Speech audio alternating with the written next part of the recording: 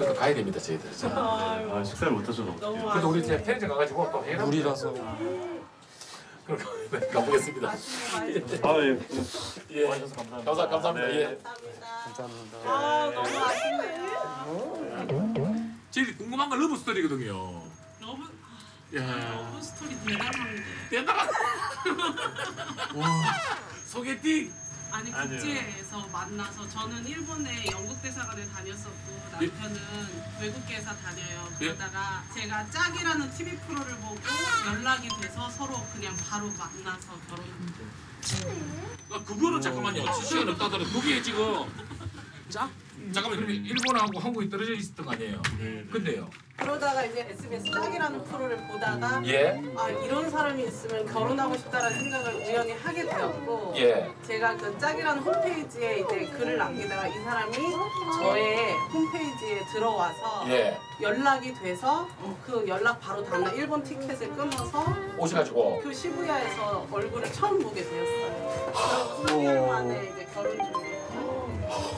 우와. 먼저 그럼 연락을 하신 거예요? 네, 제가 맞아요.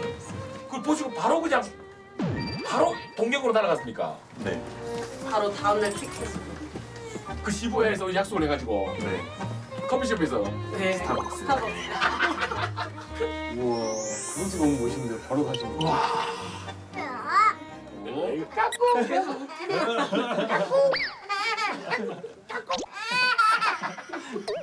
슨 소리가 너무 귀여워. 아 너무 스토리까지 들었고 밥만 먹으면 되는데 우리가 식사는 못 한다더라도 기념 촬영을 하거든요. 엄격한 한 끼 수칙을 지키기 위해 만남을 추억할 기념 사진만 남기고 떠나기로 했다. 삼성동에서 한 끼만큼 따뜻한 마음을 선사해 준 집.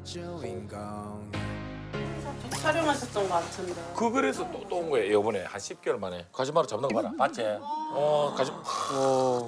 어 이거 가지마라고 얼주 얼주 어이구 어이구 어이구 어이구 어이구 힘이 세다 힘이 세다 안녕 원유야. 어 아, 악수 안녕히 가세요. 인사드려. 아 침해졌다 아유 어떡해 어이구 어이구 어또 끌었어. 언니야 고맙다 언니야 갑니다 네. 안녕히 가세요.